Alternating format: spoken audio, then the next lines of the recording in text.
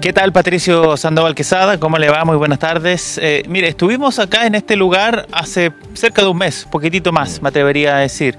Estamos en el exterior de las oficinas del Instituto de Estudios Indígenas e Interculturales de nuestra Universidad de la Frontera. En aquella oportunidad estábamos hablando de un convenio entre este instituto y Proenta eh, y en esa oportunidad anunciamos lo que mm, eh, se concretó finalmente, ¿no? Eh, y tiene relación con esta política de relaciones interculturales que se está comenzando a trabajar al interior de nuestra casa de estudio. ¿En qué consiste esto? Vamos a conversar de inmediato con Osvaldo Curaqueo, director del Instituto de Estudios Indígenas Em, por favor, Osvaldo, ¿cómo le va? Muy buenas tardes. Bien.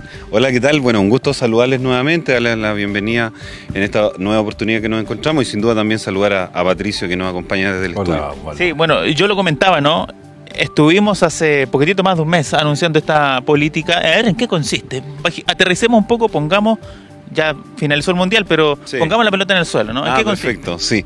Bueno, eh, la universidad eh, presenta, en este caso la Universidad de la Frontera, presenta cuatro grandes ejes estratégicos, como es sustentabilidad, está el componente género también de inclusión.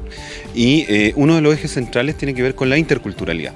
Y la universidad, sin duda, con miras al futuro y los distintos desafíos que implica de una universidad que tiene cerca de un 30% de estudiantes con ascendencia o declarado origen indígena, en particular mapuche, y una serie de otros temas que están en, contexto, es necesario definir una política, es decir, un instrumento de planificación que es más bien declarativo, que define los horizontes hacia dónde va a mirar la universidad al futuro, al próximo tal vez decenio respecto de estas materias, es decir, cómo hacerse cargo de distintos desafíos, demanda que si quieres podemos ir em, em, empezando a desmenuzar en, algunos minutos, eh, y cómo eso también se traduce en un plan de implementación. ¿sí?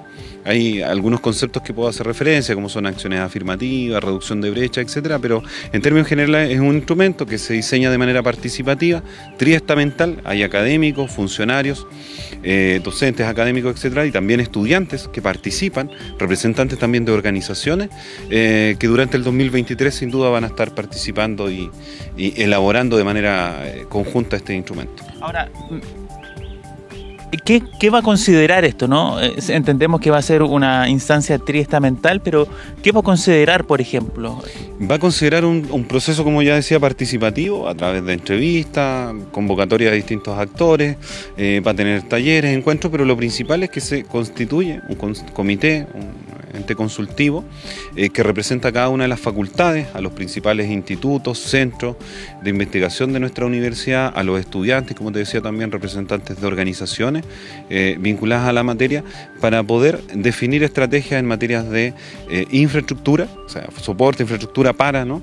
La pregunta es qué hace la universidad en materia de interculturalidad, en pregrado, por ejemplo, qué hacemos y cómo podemos fortalecer, ya sean electivos de formación general, cómo tal vez puede haber un desafío a nivel de pregrado de incorporar dentro del modelo educativo, probablemente ustedes han, conversado y presentado a través de Ufromedios también parte de lo que es el desafío del modelo educativo de nuestra universidad que se está desarrollando, por lo tanto, ¿cuál es el sello del estudiante? Sello de excelencia, calidad, etcétera.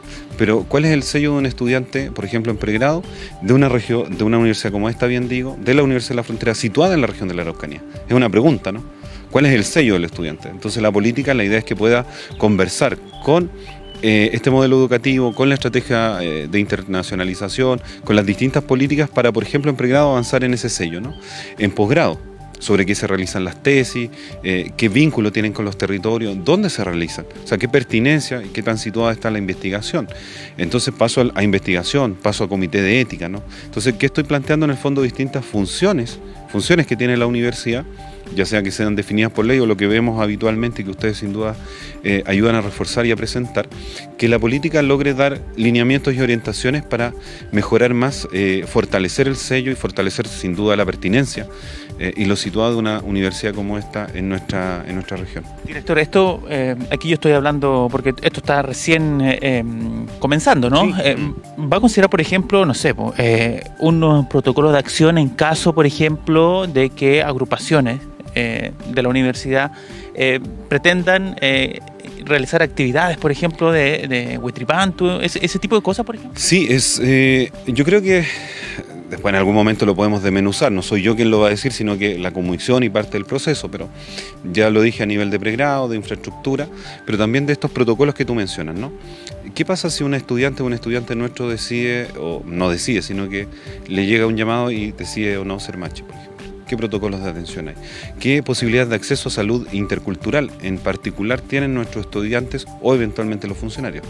¿Qué protocolos existen en términos de, sabemos que hay diferencias y hay que reconocer esas diferencias, por eso se habla de política de relaciones interculturales, no solo de política indígena, no de lo intercultural, sino que las relaciones, esta cotidianidad que está presente, que no solamente nos permite vernos como iguales en principios, valores, etcétera, sino que también reconoce las diferencias. Es decir, hay brechas, estructuras de poder, etcétera, y esas diferencias sí hay una desventaja significativa eh, para quienes provienen de pueblos y naciones originarias. Por eso también tenemos el programa RUPO, que es un programa de fortalecimiento académico también para un grupo específico, en este caso de estudiantes de origen indígena.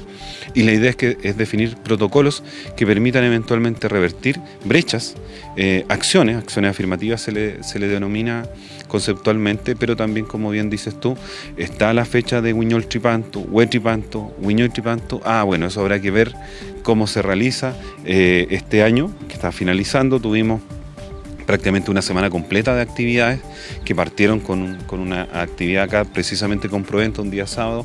Finalizamos el sábado siguiente con un trasquinto gigante en donde participaron más de 300 personas. Eh, tuvimos también un misagún, eh, tuvimos un yeyipún también con eh, funcionarias, estudiantes, etcétera, de acá de la universidad. Sin embargo, eso no necesariamente está todo decretado, establecido, ¿no? Eh, y la idea también es declararlo, disponerlo, establecer fechas, eh, ya sea el Día Internacional de la Mujer Indígena o cualquier otro que fuere. Eh, y también, por ejemplo, en caso de fallecimiento, quienes participan, ustedes conocen, probablemente algunos quienes lo conocen, los funerales duran, los velorios duran un par de días, ¿no? ¿No? Son tres, cuatro días en algunos casos. ¿Qué pasa si fallece una autoridad ancestral? La universidad participa en su vínculo con el territorio, eh, en espacio. Eh, tenemos también el territorio que mirar y participar y ser parte. ¿Y cómo nos involucramos? Entonces la política, no solamente a nivel estudiantil, sino que también en este vínculo o relación eh, con el propio con el propio territorio. Yo creo que eso es importante también dejarlo en claro y que la política debiese recoger o incorporar también esto.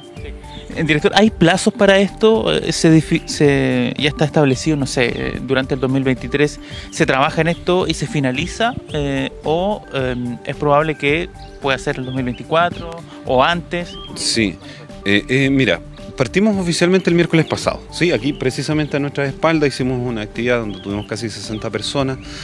muy interesante, participó no solamente nuestro rector, autoridades y también representantes de estos distintos estamentos, áreas que yo mencionaba.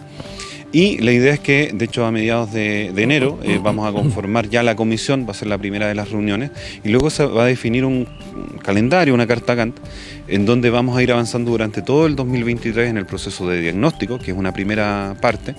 Segunda, que es de diseño de las principales estrategias que se van a promover. Y tercero, debe pasar por validación también de nuestros cuerpos colegiados o sea, tanto de consejo académico hasta que llegue a la junta directiva.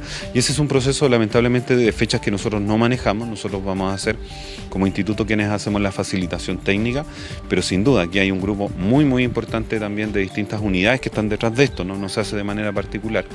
Por lo tanto, todo el 2023 va a ser para diagnóstico, diseño y la propuesta precisamente de esta política que luego debe ser pasada por cuerpos eh, colegiados. No tengo, no puedo dar certeza si se aprueba o no este año, esperemos que sí.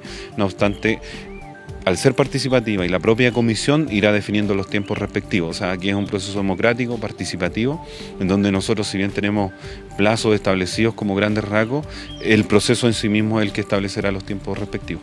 Patricio Sandoval, no sé si tiene preguntas. Sí, Sí, efectivamente hay preguntas, Cristian Andrés. Saludar a Osvaldo primero, ¿no? Bueno, em, hay, varios temas en esto y, felicitar a, Osvaldo y a su equipo por, el desarrollo de esta, de esta idea que marca sin duda un hito importante en la vida de nuestra universidad. Pero claro, eh, la gente de pronto Osvaldo siente a la universidad como muy distante, como muy lejos, ¿no?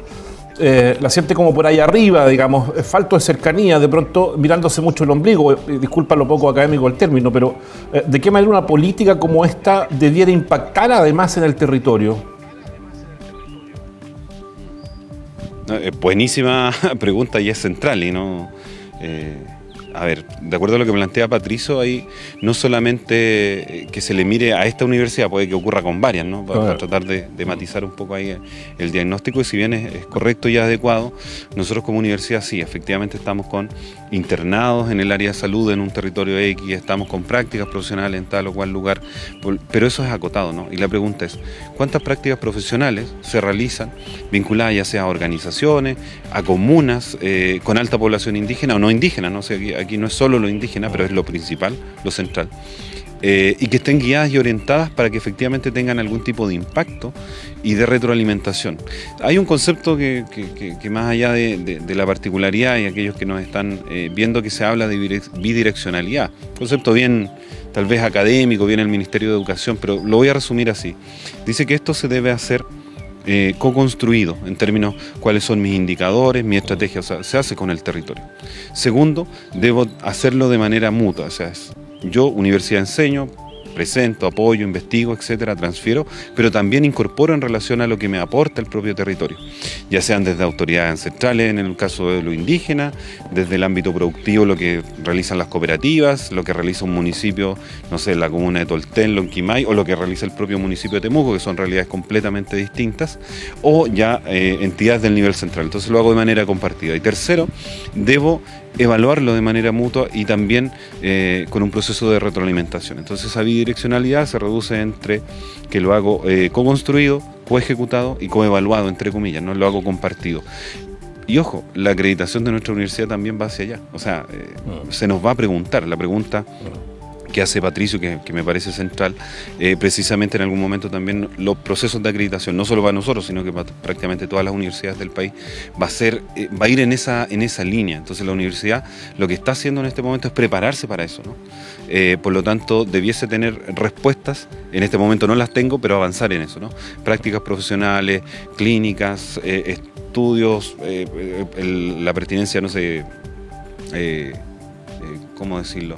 Ética también de lo que se realiza, eh, la incorporación también de mayores estudiantes, distintos programas, es decir, no quedarnos solamente en esta burbuja o en este espacio en esta torre de marfil, como llaman algunos, sino que abrirla también mucho más al territorio, que es un desafío permanente. ¿eh? No es que tengamos ahí la respuesta completa para eso, pero esto es parte del diseño para avanzar en eso. Y además que esa vinculación, por ejemplo, no, no sea solamente con eh, los eh, futuros profesionales relacionados a medicina, que cada una de las carreras de alguna u otra forma tenga un vínculo con, con, la región clave, ¿no? Eh, sí, tenemos, o sea, más de 10.000 estudiantes, al menos en pregrado, tenemos un, número importante, 49 o cerca de 50 carreras. Por lo tanto, si bien salud es un componente importante, que muchas veces es el que más se visibiliza o de impacto, pero por ejemplo tenemos la carrera de Derecho, tenemos Ingeniería Comercial, ya sea, no sé, Sociología, Trabajo Social, la facultad a nuestro, a nuestro costado que es Agronomía, eh, y que por lo demás donde eh, la facultad que tiene, ojo, mayor, la mayor proporción de estudiantes de origen indígena precisamente están en la Facultad de Ciencias Agropecuarias y Medioambientales. Entonces ahí tenemos carreras eh, vinculadas también al desarrollo productivo. Entonces es evidente que se espera eh, que la formación, no solamente en pregrado, que es importante, pero también en otras áreas pueda tener mucha mayor vinculación, relación, y yo creo que ese es un desafío permanente. No sé si esto es la panacea que viene a resolver todo, pero al menos en la fase preparatoria para avanzar en eso. Un primer paso. Sí, sin duda es un primer paso. Patricio Sandoval. No, yo lo que te decía, creo que hay una mirada holística en el desarrollo de esta, de esta política y ese concepto de holístico, ¿no? Eh, es importante y es interesante porque abarca eh, todo el quehacer de la universidad, eh, volcado de alguna manera en esta relación intercultural que, que, ha tenido. No es que ausencia de política no la tenga, se, ha ido desarrollando, digamos, en el tiempo. Lo que pasa, y corrígeme Osvaldo si estoy equivocado, aquí lo que se pretende generar ahora es una estructura que, convoque, digamos, a la universidad, que convoque al territorio en esta relación bidireccional, digamos, ya, ya, pensando en la formalización de alguna manera de esta, esta relación intercultural, ¿no? desde la universidad, desde la universidad, pero también hacia la universidad. Sí, e-, es, clave. Yo creo que ahí hay un, resumen y, muchas gracias también, Patricio. ¿no? A veces uno se, marea un poco en la conceptualización y todo, pero en el fondo, mira, la universidad eh, históricamente ha desarrollado una serie de actividades impulsadas que son de manera parcializada, ¿no? Nuestro instituto a nuestra espalda tiene prácticamente 30 años, el centro de documentación fue eh, creado el año 86. Tenemos el programa RUPO que tiene una cantidad importante de, décadas, tenemos investigadoras y investigadores en el ámbito lingüístico, de revitalización del Mapudungun, de fomento productivo, de investigación de derechos de autor, o sea, tenemos un sinnúmero importante. ¿Qué decir el área de medicina? No me voy a abocar en ello. Entonces, lo que viene a hacer esta, esta política es conformar un solo cuerpo, ¿no? O sea, un solo cuerpo que ordene, estructure. Sabemos que los recursos son siempre escasos, entonces también tenemos que ser eficientes para ordenar y proyectar el quehacer universitario en esto. Entonces, muy bien lo, plantea eh, Patricio, sí, efectivamente es un cuerpo que viene a, congregar, a aglutinar, pero también a proyectar. ¿Sí? O sea, sistematizamos, entendemos lo que hacemos, lo que hemos hecho, bien o mal, ¿no? Hay también un proceso de reflexión interno que debemos hacer como universidad y también nuestra mirada de futuro hacia dónde vamos. Y esa respuesta tal vez ni siquiera la tenemos nosotros, ¿no? Está en el territorio, está en las comunas, está en los vecinos, está, está afuera, está en nuestros propios estudiantes. Y algo lo dijo él, ¿no? Es hacia afuera y hacia adentro. ¿Y nuestros funcionarios? Funcionarias y funcionarios que también son, son de origen indígena, eh, tienen ciertos tipos, eh, insisto, lo intercultural no se remite solamente a lo indígena, pero en esta región sin duda es, eh, es el fuerte, el clave sobre los cuales va a tener ejes importantes de desarrollo esta política. Patricio Sandoval Quesada, no, sé si tiene algo más que, que Oye, lo que pasa, que lo que pasa, Cristian, es que el tema va a ser un programa completo. Digamos. Podríamos estar conversando todo, el programa sobre la, política de culturalidad, porque además es un tema que en lo personal a mí me, gusta mucho. Pero nada, yo no, pregunto nada más, Cristian, porque estamos alcanzados por el tiempo, tenemos que ir al Zoom, pero, pero vamos a dejar en stand-by esta conversación, vamos a dejarla en pausa para poder continuarla más adelante, porque como dice Osvaldo, este es un trabajo que está comenzando, por lo tanto eh, vamos a seguir escuchando sobre el trabajo que va a desarrollar la comisión y los pasos que van a ir dando a medida que pase el tiempo, ¿no? Exactamente, vamos a estar atentos además, eh, antes o, quizás días después de que eh, se desarrolle la primera comisión o la primera reunión para tener novedades, a ver cómo camina. Estamos bueno. Saludos Osvaldo, saludos para ti, Cristian Andrés, para Gabriel Burgos en la cámara y Anita Ravena en la conducción del móvil. Hasta mañana, muchachos. Ya, pues que esté muy bien, nos vemos.